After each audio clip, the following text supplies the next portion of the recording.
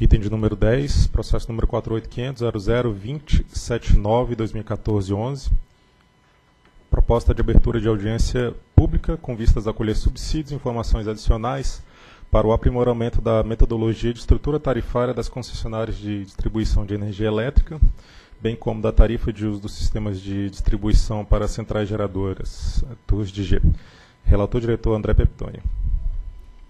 Módulo 7 do PRORET, que é o procedimento de regulação tarifária, estabelece a metodologia de estrutura tarifária aplicada às concessionárias de distribuição de energia elétrica. A Resolução Normativa 349 de 2009 define a metodologia de cálculo da tarifa de uso do sistema de distribuição, TURGG, aplicável às centrais geradoras conectadas em 138 ou 88 kV. Três atividades da agenda regulatória indicativa da ANEL para o biênio 14-15 possuem relação com o aprimoramento desses dois regulamentos e prevêem a realização de audi da audiência pública ainda em 2014. Então é o 29, que é avaliar a metodologia de inclusão de perdas técnicas no cálculo da TURS de G locacional, tensão igual ou superior a 88 kV. O item 32, que é aprimorar a metodologia de cálculo das tarifas de referência utilizada no processo de revisão tarifária das concessionárias de distribuição de energia elétrica. E ainda o item da agenda regulatória indicativa, o 44, que propôs aprimoramento da metodologia de estrutura tarifária da distribuição. E as notas técnicas 6514, conjunta SRD-SRE e 8314, também conjunta SRD-SRE, uma de julho a outra de setembro, apresentaram o projeto de análise e a proposta de atualização da estrutura tarifária das concessionárias de distribuição de energia elétrica. É o relatório. Procuradoria. Trata-se de abertura de audiência pública para tratar do aprimoramento da metodologia de estrutura tarifária e da TUS de G. Matéria de competência da ANEL, do artigo 3 19, é, 14 e 18 da Lei 9427. Matéria também submetida à audiência pública por força do artigo 4 parágrafo 3 da Lei 9427. A matéria foi examinada pela Procuradoria sob aspectos de legalidade e entende que a matéria está em condição de ser submetida à audiência pública. Antes de adentrar aqui a fundamentação, eu vou pedir à área técnica que faça uma apresentação pontuando os principais elementos que estamos submetendo à audiência pública.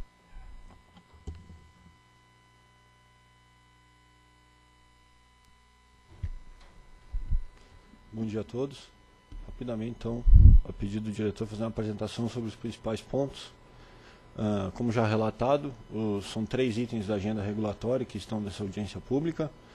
Uh, além dos itens aqui, é importante ressaltar algumas atividades relacionadas a esse, ao tema estrutura tarifária. Os dois primeiros já realizados. O primeiro foi uma pesquisa sobre percepção de tarifa de energia elétrica, realizada no ano 2013 no site da ANEL, que contou com a participação de 2.705 respostas. Uma outra atividade realizada nesse ano foi uma reunião técnica sobre o horário de ponta, que teve a participação além da ANEL do NS, da PSR, da ABRAD, ABRAC e ABRADEMP. E um outro processo que está em andamento, que resultou na AP 28 de 2014, que é a revisão do módulo 2 específico sobre a campanha de medidas. Atualmente nós estamos fazendo análise das contribuições dessa audiência pública. Sobre a proposta, uh, é encaminhada agora a audiência pública, basicamente sobre as componentes tarifárias. Na questão da TUJ, nós não, não temos nenhuma alteração, contudo, na, na TE a gente cria um novo componente tarifário, que seria a TE encargo CDE, referente à conta ACR, regulamentado pela Resolução 612 de 2014. Outros itens principais da audiência pública são a definição da TUJ em três aspectos, primeiro seria o custo médio, o aprimoramento dos parâmetros de cálculo, que vai afetar a definição da TUJ fio B. Outro item que afeta também a definição da TUJ transporte é a relação ponta fora ponta. A nossa proposta submetida à audiência pública é a manutenção dos atuais valores, tanto para TUJ quanto para TE. E por fim, sobre o horário de ponta, temos duas discussões. Uma inicial, uma discussão mais teórica sobre e mais a longo prazo sobre a melhor forma de definir o horário de ponta. E uma outra é a definição, normatização sobre a modulação dinâmica, uma, um item que já está sendo aplicado na CEMIG. Então, esses seriam os três requisitos sobre a definição da TUG. Sobre as modalidades tarifárias, a, a gente ressalta a extinção da modalidade convencional para o grupo A já está definido, já foi definido no ProRet, quando no terceiro ciclo. Estamos sugerindo a criação de uma modalidade tarifária para pré-pagamentos, apenas para acompanhar o mercado, não estamos propondo alteração alguma, a resolução normativa aprovada esse ano que definiu a modalidade de pré-pagamento. E também numa discussão mais a longo prazo, estamos propondo novas modalidades para o grupo A, a possibilidade da distribuidora propor e flexibilizar novas modalidades para os consumidores. E por fim, sobre a TUGG, estamos propondo também três itens. Só cabe aqui destacar que nós não estamos propondo nenhuma alteração na resolução normativa 349, apenas alterações no módulo 7 do ProRed. O primeiro item seria, se aplicaria apenas aos centrais geradores conectados em 138 e 88. Então, propondo a criação de um novo componente tarifário referente a perdas técnicas, ressaltando que esse componente seria uma tarifa selo, não seria locacional. Sobre a tarifa das centrais geradoras conectadas em 69 kV, estamos propondo também mais a, longo pra, a médio e longo prazo uma discussão sobre qual a melhor forma, qual, qual a melhor metodologia a ser aplicada. Inicialmente, propomos a aplicação da metodologia locacional tal qual aplicado no 138 para o 69 kV, mas não propomos a sua a metodologia, apenas a discussão se é o melhor caminho. E por fim, a última proposta é a definição de uma metodologia de cálculo para, para geradores conectados em MT e BT. Era isso. Procuradoria. A Procuradoria já se manifestou, a gente inverteu aqui o, o processo. Agradeço a apresentação feita pela área técnica. Você vai até me permitir resumir bastante aqui a fundamentação. Então, a atual metodologia da estrutura tarifária das concessionárias de distribuição de energia elétrica, regulamentada no módulo 7 do PRORET, foi aplicada a partir do terceiro ciclo. E os aprimoramentos implantados resultaram das discussões que ocorreram no âmbito da audiência pública 120-2010, dos quais se destaca dos quais se destacam os seguintes: a criação da tarifa branca, a criação da bandeira tarifária, substituição dos custos incrementais médios de longo prazo único para todas as distribuidoras pelo custo médio e longo prazo específico por distribuidora, alteração da forma de cálculo das componentes associadas às perdas e aos encargos setoriais, adequação das relações entre as tarifas dos postos tarifários ponta e fora de ponta, homogeneização da relatividade entre as tarifas do subgrupo B, que é B1, B2, B3, B4, para todas as distribuidoras, redução da abrangência da aplicação da modalidade convencional do grupo A e a definição de sua extinção até o final do ciclo tarifário do terceiro ciclo, ou seja, a proposta é que no quarto ciclo já não tenha mais, e criação da modalidade tarifária horária verde para os consumidores livres.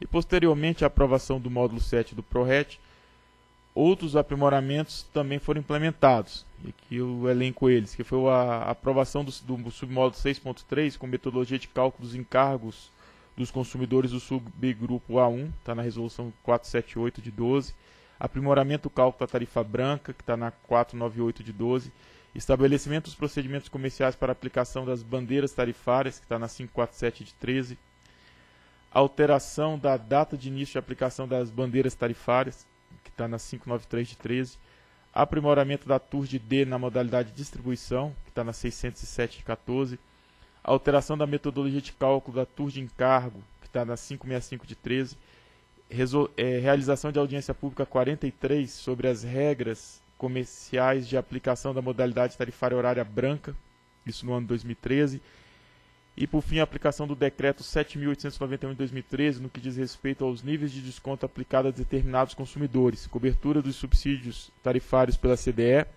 e repasse dos custos da CDE e da CCC. Além desses aprimoramentos, as áreas técnicas identifi identificam novos aprimoramentos advindos da, da experiência adquirida ao longo do terceiro ciclo tarifário, do monitoramento da resposta do mercado e das alterações legislativas e normativas que sobrevi sobrevieram.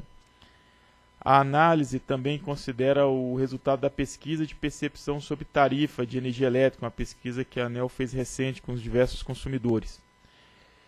Que, foi, que está no sítio da, da ANEL, foi realizado em 2013 e contou com a participação de 2.705 respondentes, principalmente consumidores residenciais. Essa ferramenta possibilitou auscultar esta parcela do mercado que possui dificuldade em contribuir para os temas técnicos com a definição da, com a definição da estrutura tarifária, mas que afetam diretamente os consumidores. E os principais pontos de aperfeiçoamento da metodologia da estrutura tarifária, que consta da nota técnica 65 e que ora submeto ao colegiado para que seja a aprovação da abertura de audiência pública, são os seguintes. É a manutenção da forma de construção da linha das tarifas em três estágios, tarifa de referência, econômica e financeira e estrutura de funções de custo e componentes tarifários e critérios de rateio das componentes das tarifas, aprimoramento do método de cálculo dos custos médios utilizando o cálculo das tarifas de referência TUR de fio B, manutenção das atuais relações ponta fora de ponta e dos postos tarifários, garantindo a possibilidade de a distribuidora propor novas relações para a TUSD, regulamentação da modulação dinâmica, manutenção do, do sinal ponta fora ponta da tarifa energia, extinção da modalidade tarifária convencional do grupo A, ou seja, nós finalizamos com ela agora no terceiro ciclo, no quarto ciclo não mais será aplicada. Criação da modalidade tarifária pré-pagamento nos termos da resolução 610 de 2014 manutenção da regulamentação sobre a tarifa branca, definição da componente perdas técnicas de TURS de G aplicável a centrais geradoras conectadas em 138.88 kV e metodologia de cálculo da TURS de G nos subgrupos A3A e A4, média tensão e no grupo B. Além dessas propostas, as áreas técnicas também apresentam discussão inicial sobre a definição do horário de ponta, a aplicação da metodologia locacional para tours de G no subgrupo A3 e a possibilidade de novas modalidades tarifárias para o grupo A, adicionais às atuais modalidades horárias verde e azul. Essas propostas ainda carecem de maturação e os temas serão incluídos na agenda regulatória para o biênio 15-16, com previsão de realização de audiências públicas específicas para cada um deles. Para que sejam alcançados os objetivos então da audiência pública, receber contribuições, frisa-se a a proposta de alteração da metodologia de cálculo das TUR de G das centrais geradoras do subgrupo A2, A3, A4 e do subgrupo B1 também, do subgrupo B.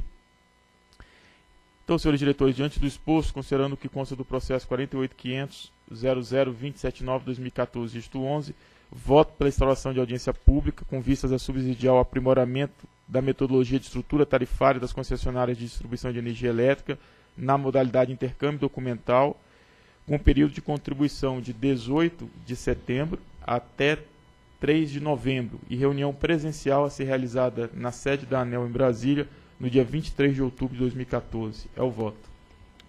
Em discussão. Em votação. Eu voto com o relator. Também voto com o relator. Também acompanho o relator. Portanto, proclamo a decisão da diretoria pela instauração de audiência pública com vista a subsidiar o aprimoramento da metodologia de estrutura tarifária das concessionárias de distribuição de energia elétrica na modalidade intercâmbio documental, quanto contribuição no período de 18 de setembro a 31 de novembro de 2014 e reunião presencial a ser realizada em Brasília em 23 de outubro de 2014. Próximo item.